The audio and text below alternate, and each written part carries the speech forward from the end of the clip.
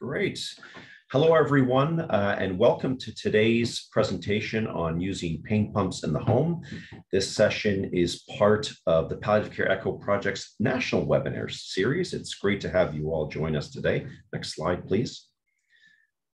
Before we get into our presentation, I just want to take a, a brief moment to acknowledge the land on which I am presenting from, which is the city of Ottawa, uh, which is the uns uh, traditional unceded and unsurrendered territory of the Algonquin Anishinaabeg people. And the Algonquin peoples have lived on this land since time immemorial. And I acknowledge the historical oppression of lands, cultures, and the original peoples in what we now know as Canada, and believe wholeheartedly that the work that we do collectively in palliative care can contribute to the healing and decolonizing journey that we all share together. And we are grateful to have the opportunity to be present on this territory today. Next slide, please. Okay, so today's presentation is part of the Palliative Care ECHO project, with, which is a, a national five-year initiative aimed at cultivating communities of practice uh, and supporting continuing professional development among healthcare professionals such as yourself right across the country who care for patients with a life-limiting illness. This project uh, will provide a lifelong learning journey for healthcare providers to build local capacity to provide palliative care approach to patients and their families uh, the Palliative Care Echo Project is made possible thanks to a financial contribution from Health Canada.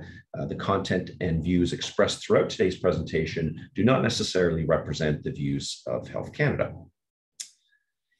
And uh, I think it's also important to understand that the Palliative Care Echo Project is, is not a replacement for foundational training on the palliative care approach through programs such as Pallium's uh, LEAP Core course, uh, which you see here on the slide.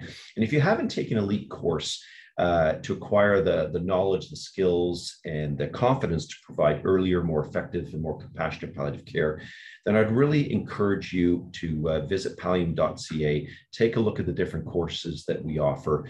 Um, the feedback we get from these courses is always very, very strong and positive. Uh, so we encourage you to take a look at that. Uh, so thank you for that. And Let's move on to the next slide. Uh, so for today, I'm going to be your host and moderator uh, for the session. My name is Jeffrey Moat. I am the Chief Executive Officer of Pallium Canada, and it gives me great pleasure to introduce Melina Perron, who is a registered nurse uh, and clinical director of home and community care support services in the Central East LHIN here in Ontario. So a very warm welcome to Melina. Uh, and before I hand over uh, the floor to our uh, distinguished guest, uh, just uh, some disclosures to, uh, to share with you. So um, first off, Pallium Canada, we're a national nonprofit organization founded in 2000, based here in Ottawa, funded in part by Health Canada, and we equip healthcare professionals uh, healthcare organizations and people in our communities with the skills and the knowledge to provide palliative care earlier, more effectively, and more compassionately to all Canadians. And as I said, the, uh, the Palliative Care Echo project is funded in part through a contribution agreement from Health Canada. Uh, Pallium also derives funding from the sale of uh, our LEAP courseware, our Pallium uh, palliative pocketbook, uh, and in terms of conflict, uh, I'm an employee of Pallium Canada and would ask uh, our, our guest, uh, Melina, to uh, share if she has any potential conflicts. Uh, Melina, any conflicts to declare? I don't have any conflicts. I am not being paid for today's presentation. Um, so yeah. Okay, wonderful. Thank you. Next slide, please. Okay, so again, want to welcome you to what uh, I think is going to be a very interesting and informative session. I'm very much looking forward to learning more about uh, pain pumps. And uh, just in terms of a reminder, your microphones, um, I believe, have been muted. Uh, doesn't mean we don't want to hear from you, though. Uh, we would love to hear uh, your thoughts and questions throughout the webinar, and you can express yourself through the Q&R function at the bottom of your screen. Um, in doing so, you're going to help to contribute to the knowledge that we generate over the next hour. So thank you in advance for doing so. And just a reminder, please don't disclose any personal health information uh, during the session. Uh, lastly, please complete the survey uh, that we'll be placing in the chat box at the end of the session. Uh, we'll collect and collate all of this uh, data for future reference. Uh, and this session is being recorded and it'll be emailed to all of you shortly after the conclusion of the session. And uh, with that, I am going to pass the floor over to Melina. Thank Great. You. So thank you so much for the warm welcome and uh, nice to virtually meet everybody here today. My name is Melina Perron, and as described earlier, I am a registered nurse. Um, I'm located in Ontario and work as a clinical director for home and community care support services here. Um, I'm also the clinical co-lead and director for the Regional Palliative Care Network um, Central East. So today we're just going to talk about uh, pain pumps in the community. Um, so yeah, I just wanted to get started with a poll, make sure everybody is awake. Um, so it, this is a pretty simple question. Have you ever used a pain pump in the community for an end of life patient? Um, so your choices are one or yes, no, or not applicable. I'll just give a few seconds to answer that.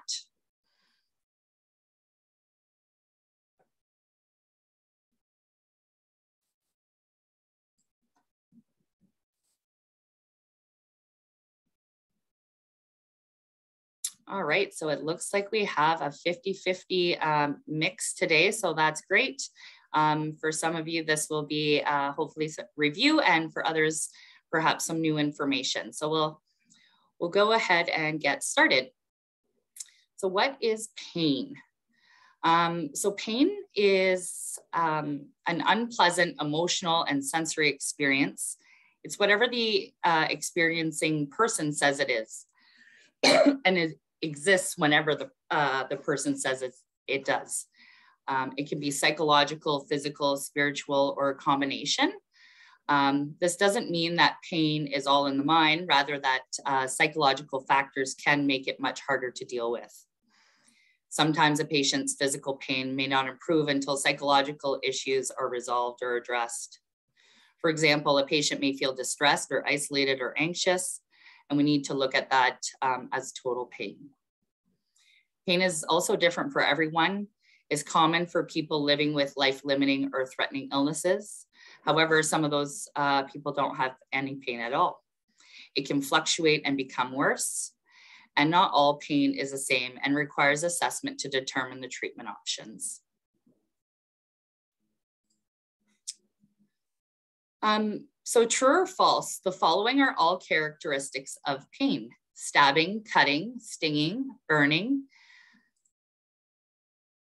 boring, splitting, colicky, crushing, gnawing, nagging, gripping, scalding, shooting, or throbbing.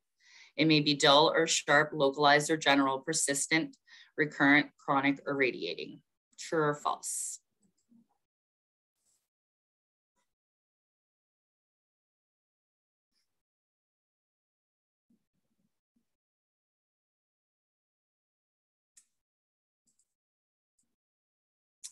True, perfect. So everybody is paying attention so far.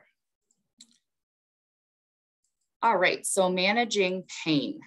Um, managing pain really begins with a careful assessment. Um, the human experience is a, a, of pain is complex.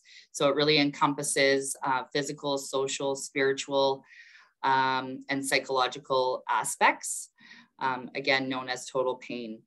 Unrelief pain results in consequences such as decreased sleep, increased tiredness, fatigue, lethargy, as well as memory or functional and appetite impairments, increased irritability, anxiety, depression, and decreased social interactions or activities. So when we're uh, choosing or when we're assessing for pain, we need to choose um, the appropriate tool. Um, so when we're doing that, we're really considering the age of the person, their physical, emotional, and cognitive status and preference. Um, and I've just listed here some common tools that are used to screen and assess pain. So there's the symptom acronym. Uh, so that's the OPQRSTUV, which really stands for onset, provoking or palliating, quality, um, region or radiation, severity, treatment. Um, the understanding or the impact on you and the values. It assists um, healthcare providers really in completing a comprehensive symptom assessment when a patient identifies a symptom, occurrence, or experience to be distressing.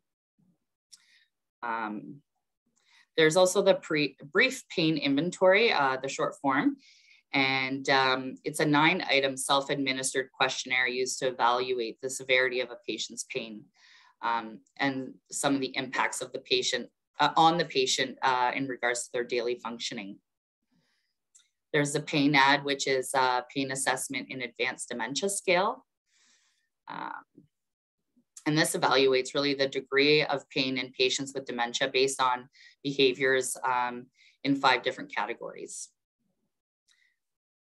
There's ESAS, which uh, stands for the Edmonton Symptom Assessment System. And it's really just a, a, questionnaire for patients to rate their, the intensity of nine common symptoms, um, which include pain, tiredness, nausea, depression, anxiety, drowsiness, appetite, well-being, and shortness of breath. Really can give clinicians a good indication of, of where the patient thinks um, they're at in, in regards to all their symptoms or most of their symptoms. Um, there's the numeric rating scale, otherwise known as the NRS, and it's really a scale of zero to 10. Um, zero would be no pain, 10 would be the absolute worst pain. Um, and we ask patients to rate uh, their pain on that scale. There's the Abbey pain scale. Um, and really that's just an instrument designed to assist in the assessment of pain in patients who are unable to clearly articulate their needs. So um, as an example, a patient with dementia, um, somebody who's having communication issues or cognitive um, concerns.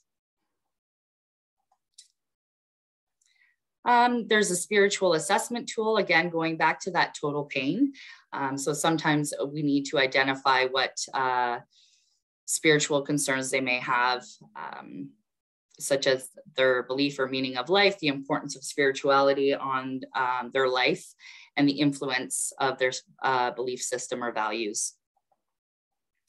And then the general anxiety disorder um, tool as well, which is a self-reported questionnaire for screening um, the severity and measuring uh, generalized anxiety disorder. So screening and assessment tools should be completed according to the patient's accessibility requirements. Um, so for example, the patient may have communication or cognitive impairments, and it may um, or they may have decreased vision or hearing loss. Um, so information should be computed, uh, communicated appropriately. So our next poll is uh, total pain consists of the following factors. One, physical, social, spiritual, or psychological. Two, physical, consolability, crying, and spiritual. Three, spiritual, social, behavioral, or location or four, a patient needs to experience pain all over their body in order to experience total pain. Just give that a few seconds.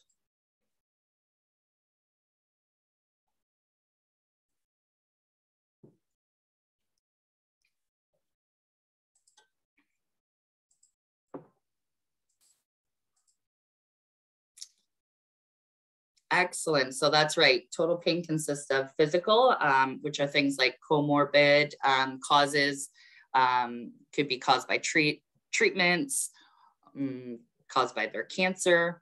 For psychological, we're looking at things like anxiety, fear of suffering, past experiences, or anticipated pain, um, some depression. For social, uh, we're really looking at um, things such as loss of a job or financial concerns, um, social status changes, worries about future of the family.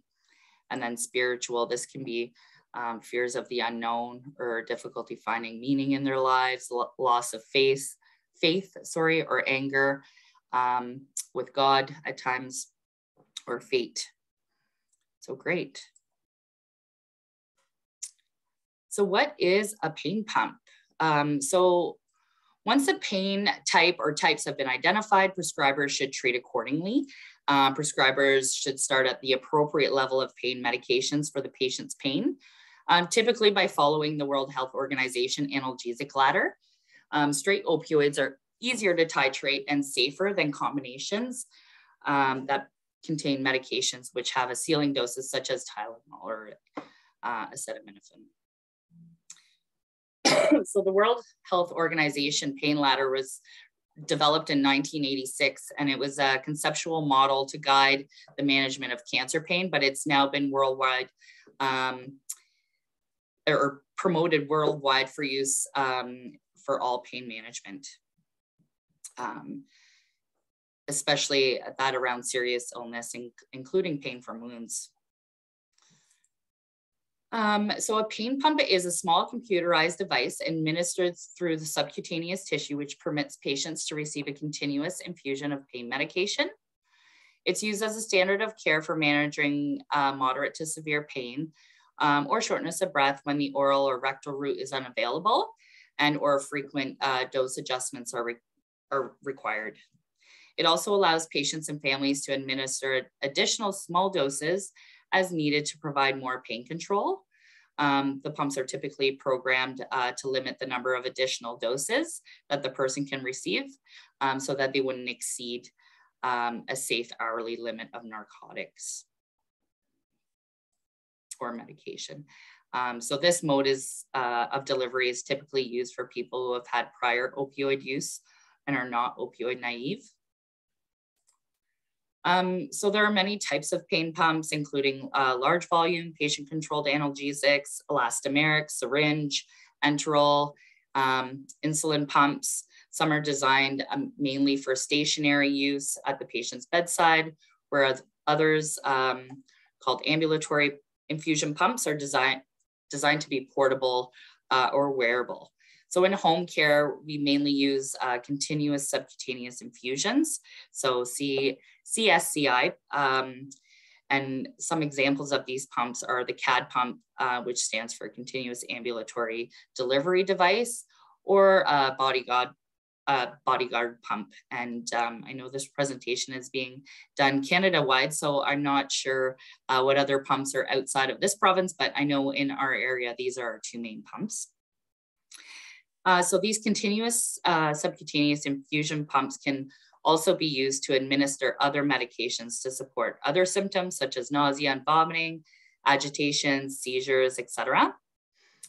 Um, most of them have features such as different lock levels to ensure patient safety uh, and alarms and typically have filter tubing and um, do require some maintenance though.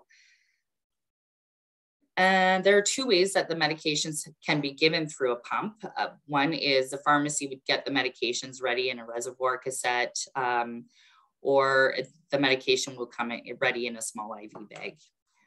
Some pumps may come with a bolus cord to make it easier for a patient to self-administer break, breakthrough dose, doses.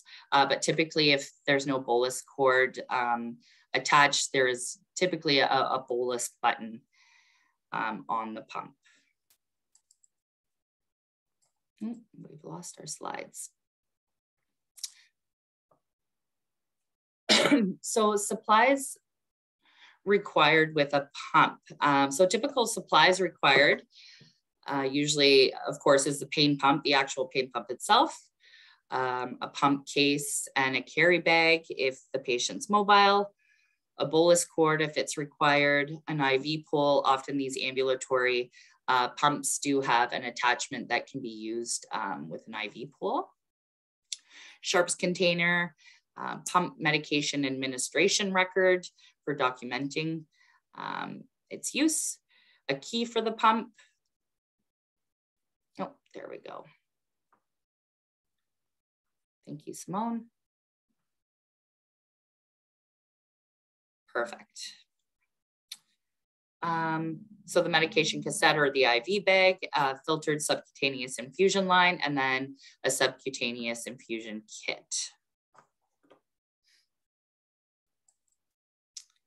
So when is a pain pump used? Uh, so a pain pump is used when patients are unable to take medications orally, typically as a result of maybe persistent nausea or vomiting, uh, dysphagia, so that's difficulty swallowing, severe weakness or lethargy, um, unconscious, poor absorption of oral medications. It can also be used for patients that are unwilling to take medications by mouth, um, have a malignant bowel obstruction, say, where surgical intervention is inappropriate. Sometimes we use them for patients who have um, head or neck lesions, when pill burden is excessive, or um, have unpredictable or escalating pain symptoms or patterns.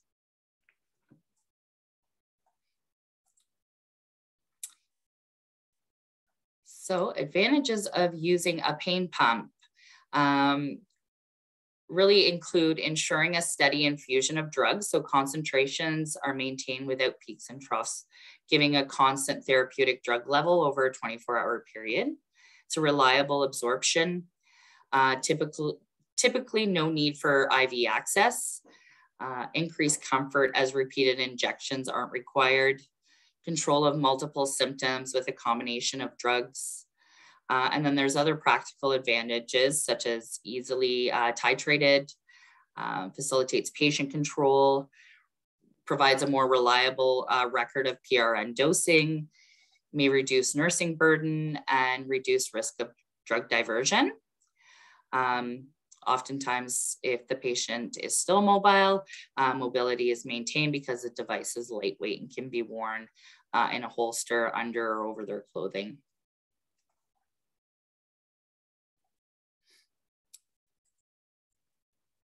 Um, so disadvantages of using a pump. Uh, sorry, uh, really a more limited number of opioid options. Um, so we can't give things like oxycodone, um, methadone or codeine, increased costs. Uh, it is more expensive with supplies and pump requirements. Um, some patients may find that it, the pump is uh, burdensome. Uh, it could be cumbersome for patients to carry around. Sub-Q site irritation may, uh, may occur uh, or allergies to adhesives, uh, possible inflammation and pain at the infusion site and potential source of infection possibility of frequent rotation of sites, um, staff training, uh, health human resource capacity issues have proven to increase this challenge.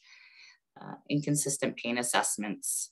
And in cachectic or emaciated patients, uh, for those who are on longer term uh, infusions, uh, skin sites may be, become a problem.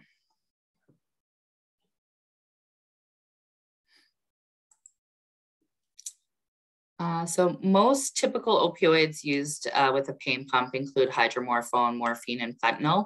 In our community, we mainly use uh, hydromorphone and, and morphine. So the pump provides a continuous infusion programmed at an hourly basal rate. It's important to remember to adjust breakthrough doses in parallel to the basal doses. Um, so this mode of delivery is typically used for patients who have had prior opioid use um, and aren't opioid naive. And it's important to be aware of the peak time for analgesia and drug uh, metabolism. So in general, for opioids administered subcutaneously, the time varies, but is usually between 20 to 30 minutes. So rather than waiting the length of the opioid half-life, uh, clinicians should really feel comfortable administering a repeat dose after the time um, to peak analgesic effect if the patient is still in pain or having breakthrough pain. We also really need to keep in mind that liver and kidneys uh, metabolize different opioids in varying degrees.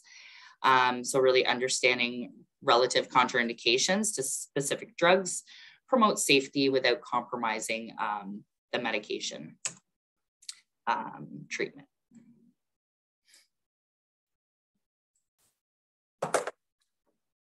So prescribing a pain pump. So in addition um, to standard prescribing requirements such as, um, you know, the prescriber's printed name, signature, electronic signature, and uh, their college um, registration or other requirements, um, which can also include the prescriber's practice address, patient's name, the name of drug, the drug strength and quantity, uh, the directions for use, the full date the prescription was issued. So, uh, and then any refill instructions.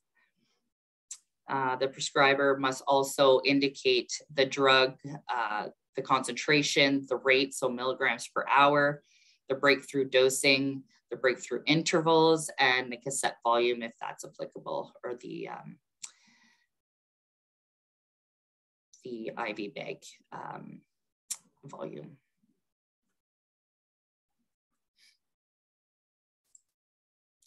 So titrating the pain dosing. Sometimes a patient may uh, experience increased uh, pain And even though it's already be, being managed with opioids, so this happens when the pain becomes stronger uh, than the pain control the patient is on.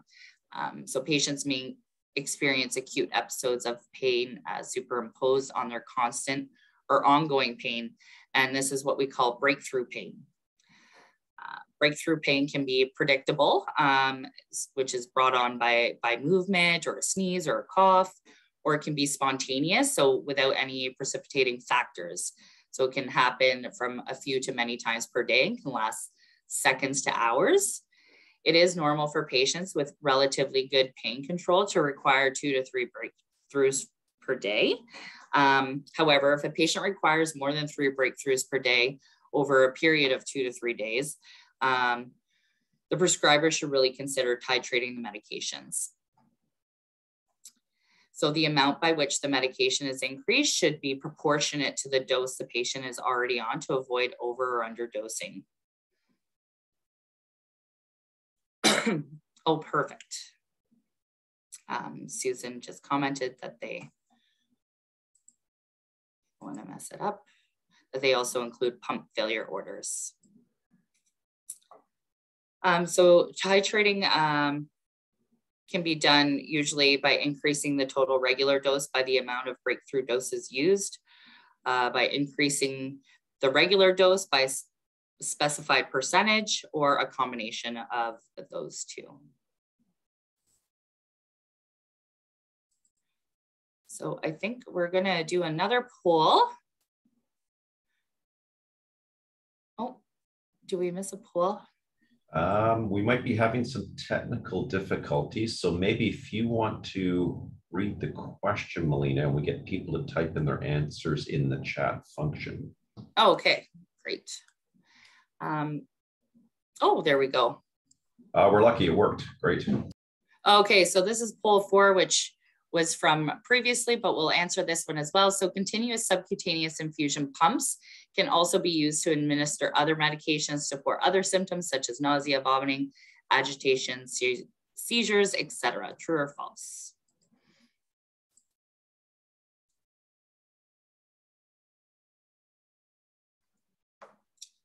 Just give that a second.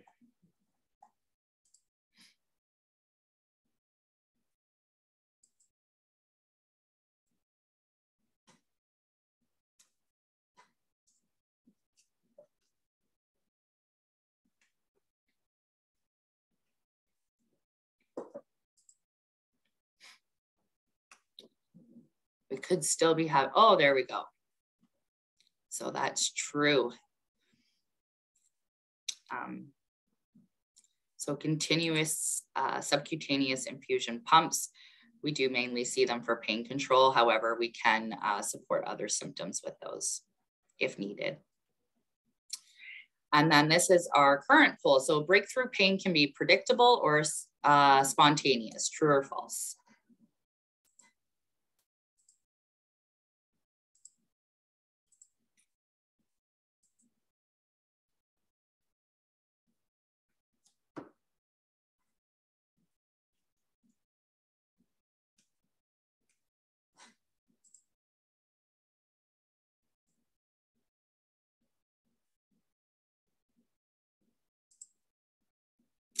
Perfect. So everybody is paying attention. Great. Okay, so now we're going to talk about uh, administering a pain pump. So pain pumps are typically pre-programmed by the pharmacies to deliver the medications as prescribed over continuous infusion. Um, so an indwelling butterfly or subcutaneous needle is inserted into the subcutaneous tissue typically in the upper arms, thighs, or abdomen. Um, there's more uh, subcutaneous tissue. It can be left in place for several days. However, the site needs to be assessed daily for inflammation or infection. Um, medication bags or cassettes are monitored and changed when empty. And if you're administering more than one medication, it can be um, administered several ways when using the subcutaneous route. So for a separate uh, subcutaneous, so first, if a separate, uh, sorry, subcutaneous site is required for each medication, um, sometimes if the medications are compatible, you can use one line and uh, administer it together or um, yeah, sometimes we just need more sites. Subcutaneous line changes are done when the medication bags are changed. Uh, the pump tubing should be changed every seven days or when the cassette bag is changed or when the system is compromised or as per local policies. I think it varies really across um, organizations. So subcutaneous lines should be clearly labeled per local policies and uh, they really need to include the medication name, the concentration, and the date. Patients and caregivers should be educated about uh, certain things to look for, such as skin irritation, redness, discomfort, increasing pain, uh, what to do in the event that the alarm goes off, keeping the area dry, avoid dropping it, and to take extra care when washing or getting dressed that the tube isn't uh, pulled out or kinked.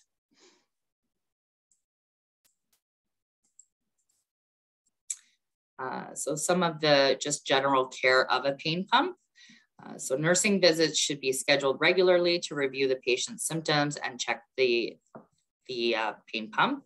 So the nurse would typically check the area around the cannula, um, looking for skin irritation, redness, or discomfort, uh, which all, may all be signs of infection. Um, keep the area around the site clean and dry and check that there's no leakage check the line to make sure it's not twisted, trapped, or caught, for example, um, if it's maybe stuck under the, uh, part of the body. Check there are no white particles along the tubing. Uh, this can mean that the medication is crystallizing.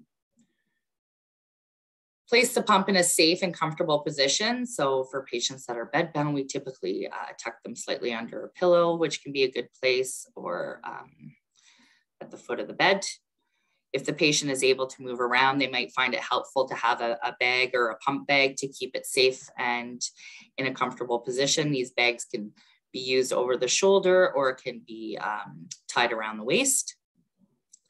Avoid getting the pump wet if a patient wants to shower or bathe.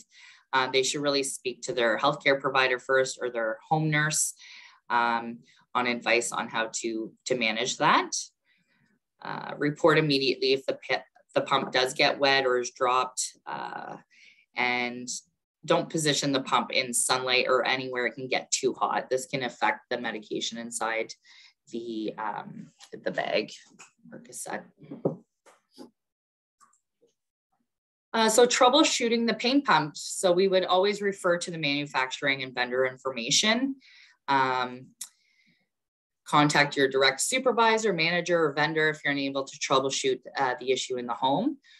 Common reasons for, for alarms or reasons for having to troubleshoot are, are usually low battery, um, and that's resolved quite quickly by just plugging the device in or air in the line, and that's been reduced uh, significantly with the uh, filtered tubing.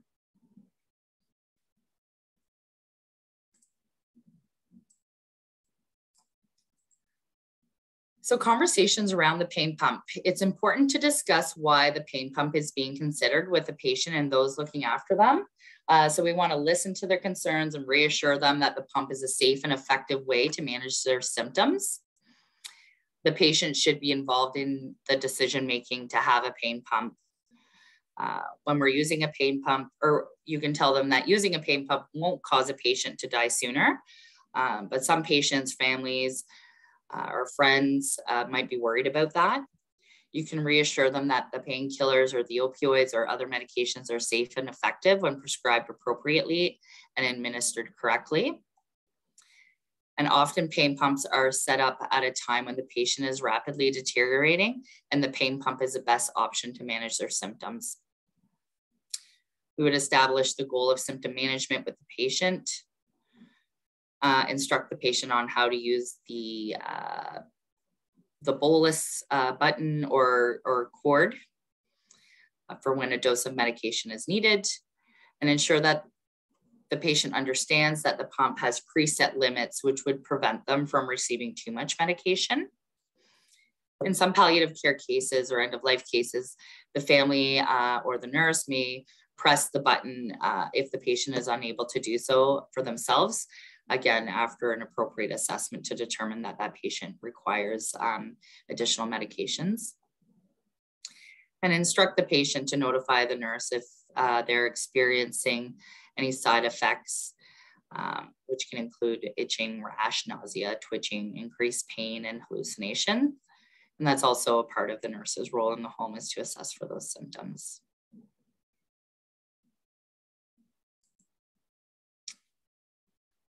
So a multidisciplinary team our approach. Uh, so really this is just simply the group of healthcare professionals of varied disciplines and roles working together um, towards a common goal of providing optimal care for a patient and their caregivers. Um, so everybody's kind of involved when there's pain pumps or any other care needs really.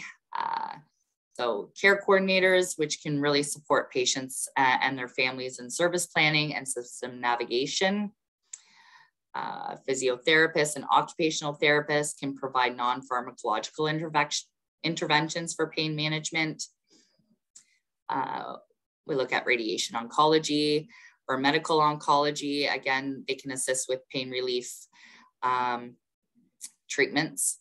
Social workers can help support with uh, social and psychological issues, uh, chaplaincy um, for spiritual concerns or issues, personal support workers are obviously uh, frontline and can support uh, with daily care, light massages, monitoring and reporting uh, appropriately. And really there's uh, so many others to support in a multidisciplinary team, uh, pharmacists, schools might be involved to support the children of a patient, um, and really just the list goes on. And that um, brings us to questions.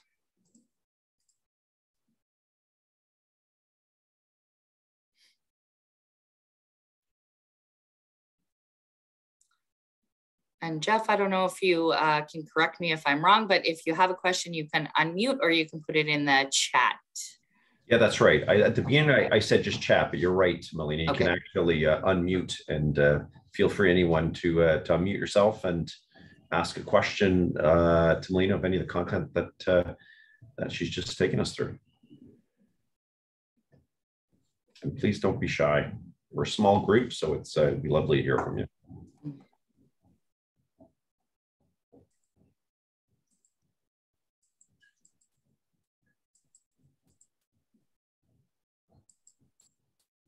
Anyone with questions?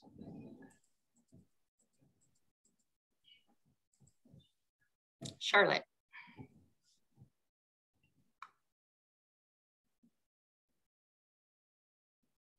Hi, hi there. Can you hear me? Yep. Oh, hi. Hi. Thank you. Um, thank you for the presentation. I'm calling from Alberta. Um, and very interesting use of the CADD pumps for pain management. We, in my experience here in home care, um, I personally haven't seen the CADD pumps being used for pain management. I've seen it more for our palliative sedation using midazolam. Mm-hmm. So, um, yeah, I'm not sure um, if maybe I just haven't come across it yet, or if it's something that just consistently here in Alberta we're not doing yet. But I kind of like the idea of the benefits. One benefit I was thinking of would be the caregiver burden piece. Mm-hmm. Um, because a lot of times our fam the families I've had are, you know, giving those sub Q pre-filled um, pain medications every four hours, and then they're giving breakthroughs. So I, I kind of definitely see an opportunity for this to help um, relieve some of that caregiver burden for managing pain. So yeah, thank you. Yeah, great. And um, very interesting to know that you're not using those pumps in Alberta. But yes, it does uh, relieve a lot of caregiver burden and stress. Um, especially, you're right, when we move into that more every two hour, every four hour medication administration, um, it, it, can become very um, stressful for, for families to have to set their alarms in the middle of the night and make sure that uh, that medication is being done. So yeah, great. Thank you, Charlotte. Thanks for that question, Charlotte. Uh, Melina, I see we have a question from Melissa in the chat function. Yep. So, what factors will influence a decision to move from dosing through a sub-Q set uh, to using a pump? So, again, um, when we look at when to use a, a, pain pump, is really when the patient perhaps gets to the point where um, the injections have become burdensome, where we're just continuously uh, re-injecting all the time. Uh, they're they lose their oral or rectal route that we're unable to give medications that way. Um, that's typically the deciding factors. Um, they become uh, more lethargic or even unconscious. Um, sometimes pain needs to be titrated so quickly that it works better on a pump. Um, so we would, there's no single answer uh, for that decision making, but certainly, uh, you know, uh, looking at the bigger picture to determine if it is appropriate and when it is appropriate. Very good. And I see a looks like a comment from Aaron. Yeah, in our community, typically only the home care nurses can set up and change pump. As an NP who orders a pump for my end of life palliative patients at home, it would be nice if I could change pump when I'm in the home, as home care is not always available. Is there anything to support this? As Bayshore and Home and Community Care do not agree, we should be able to do this. Um, it causes some issues when the patient needs increases and no nurse can go um, but I'm there and can't change it. So that's, um, yeah, Aaron, that sounds like it might be a, a organizational policy perhaps, um, and, and maybe bringing that back to your leadership to, to have further discussions. But yes, there, there are sometimes those issues uh, organizationally that um, can prevent one person from, from being able to, to change that tubing or provide that direct care. Great, super. Thanks, Melina. Any other questions or experiences uh, that all of you have had with um, with pain pumps in, in your respective practices? Would love to hear your experience to see if it's uh, similar to what uh, has shared or, or different.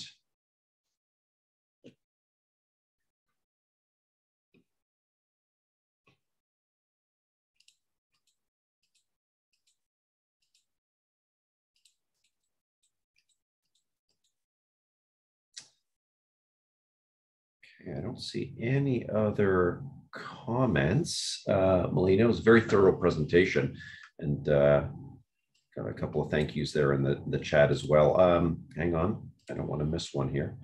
Yes, thanks, Marie. So um, why don't we flip to the last, the, the last slide? Thank you, uh, Gemma and Holly.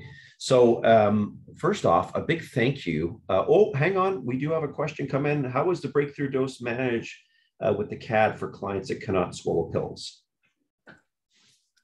Yep, so thank you. Um, so the CADD pump or the continuous subcutaneous um, infusion pump uh, has a, a, bolus button on it or a cord that's typically attached, and that's how the breakthrough doses is, is are given. Um, so they're given subcutaneously as well as their regular basal rate. Very good. Okay, excellent. Thank you, Adebayo, for that question. Appreciate that. That's good. You got that one in just in the next time. Uh, so uh, just in terms of a wrap up, first off, Melina, thank you. Thank you for taking the time to pull these slides together, uh, for sharing your knowledge through the Palliative Care Echo uh, session today.